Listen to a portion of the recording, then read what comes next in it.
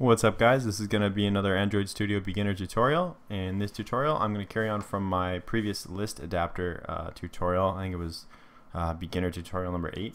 And I'm just going to show you how to create this, this loading animation when you scroll and how to um, use best practices when you're creating a list adapter class. So in this case when I'm, when I'm scrolling it's actually loading the objects as I go. It's not loading all of the objects at once which is what you want because you don't want to try and load too many at once because it can slow down your main activity thread. I'm going to be carrying on from my previous tutorial like I mentioned before so if you haven't looked at that I'll put a link here and take a look at that before you jump into this one. Okay, to start off, we're going to create a new folder in the res directory here. Just go to right click on res, go to new and directory, and we're going to call this anim. This is where we're going to store the files for showing the uh, that loading animation that I was talking about right click new animation resource file and one of them is going to be called loading down anim. And let's copy that paste it and this one's going to be called and there'll be another one called loading up anim. So now we have those two animation files. I'll do loading down first. So just copy and paste this in your loading down loading down anim file. And the thing that you want to notice here is this. So notice that from delta y is negative 100% when we go over into uh, load up anim, we're just going to change this to positive. And that's all we're going to do for these two files. So we can close these and we'll go back into our person list adapter class. So like I said, we're going to be using uh, what is currently the best practice for loading large amounts of data into a list view using a list adapter. So we can actually just Google the design pattern. So we can go, um, I don't know, let's go view holder. Yeah, just type view holder Android and you can see the first one here is from the developer website. So we click here. We can see the title right away is making a list view scrolling smooth. And if we scroll down this is what we're going to want to this design pattern here is what we're going to want to copy. We want to hold view objects in a view holder before we actually attach them to the list view. So we'll need this this uh, view holder class right here. So we'll copy that go to our list adapter. I'll just declare the view holder class up here. So just paste it in. And we don't need image view. We just change some things. So this is going to be name and birthday and sex because those are our three parameters and that's all we need to do for the view holder class. Okay, now let's go back to the developer uh, website here and we're going to copy this and go back to here and let's go just below here. So I'm just going to add a little space here because we're going to need to edit this. Let's delete this. We don't need the image view. We don't need the progress bar. And this is going to be name, birthday, and we'll need one more parameter, which is going to be sex. And then we need to uh, reference our text view IDs here. This will be text view 2, and this will be text view 3. And so we won't need this anymore, so we can delete all that. Uh, let's just delete all this. That just makes it easier. And we're going to need to create a new view also, which I will declare here. I'm going to call this view result, and it's going to be responsible for showing the actual animation. And I'm going to move the view holder up here, and then just type holder here. And let's get rid of all this space. So that's all good. Now we need to actually uh, declare the animation. So we go animation equals animation utils dot load animation, and then we pass our context comma. And now we need to write the logic for handling whether you're uh, scrolling up or scrolling down. So I'm just going to write that in and then I'm going to explain it afterwards. Okay, so there's our logic and we're going to need to declare one more variable, which as you can see last position is not defined right now. So I'll de define that variable up top here, just underneath our person list adapter declaration class. I'm going to set last position equal to negative 1 to start. Oh, let's change this to private too, why not?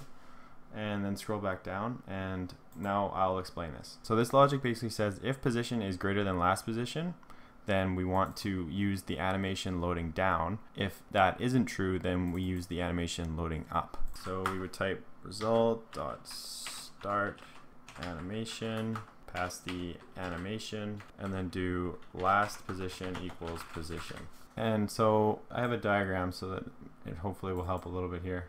I'll make it small. So the first time that this is called, last position will be negative one and position will be equal to whatever the, the position is on the array because we get, we get position from up here. So it would depend on whatever object we're at in the list view. So by the time we get down to position 7, if we then scroll down, position will then equal 8, while last position will equal 7, as I said down here. So if we scroll down, if position 8 hasn't been loaded yet, we scroll down, the new position, which is this position here, will be 8, and last position will be 7. Therefore, position will be greater than last position, so it will use the, the animation loading down. The opposite will happen if we scroll up, because at that point, we scroll up, position would then go down, so like it would go down to like, you know, 6, for example, whereas last position would still be 7, and then because position it would be then less than last position it would use the load animation up. So if it doesn't make sense to you I mean I wouldn't worry too much about it. Just copy the logic and use it in your apps. Now at the bottom here we need to actually set the text to the parameters. So it's gonna be very similar to how we did it last time. Last time we would do uh, like whatever the text view was so it would be like text view name dot set text and then type whatever the parameter was but in this case, we're going to be using the view holder. So we do view holder, I guess it's called holder, holder dot name, because if we go back up to the view holder class, name is a parameter and we have birthday and sex. So to set the name, we do holder dot name, and then set text, and then we pass the text.